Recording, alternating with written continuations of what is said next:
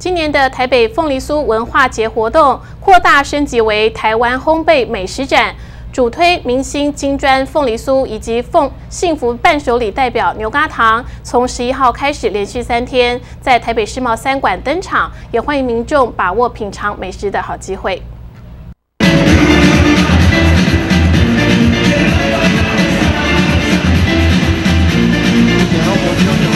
火辣动感的森巴舞表演，为二零一四台北凤梨酥文化节展开序幕。主办单位台北糕饼工会表示，连续九届的台北凤梨酥文化节，不但打响凤梨酥的名号，也带来庞大的商机。今年更推出牛轧糖，希望能创造另一波的伴手礼风潮。不管是国人出国，或者是陆客、观光客来台湾，只要想到伴手礼，一定会想到我们的凤梨酥。那工会。举出深受观光客喜爱的牛轧糖作为凤梨酥之后，成为台湾幸福伴手礼的指标商品。呃，牛轧糖容易携带，保存性比较久，在加入台湾农产品的风味下，一定保证是好吃的。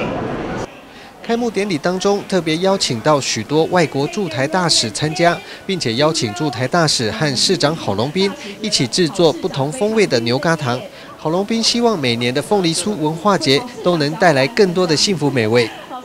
今天在这里，我们再一次举办凤梨酥节，很重要的不只是我们要把原来在既有良好的基础之下，持续的来促销，持续来行销，更重要。我们也希望所有的烘焙业者发挥创意，就凤梨酥的外形、凤梨酥的内涵、凤梨酥的口感、凤梨酥品质，我们看能不能够再做一步的改进，然后让整个凤梨酥能够再创新高。不只是凤梨酥，我们对于烘焙业者以及糕饼业者。也有充分的信息，我们相信透过凤梨酥行销的成功，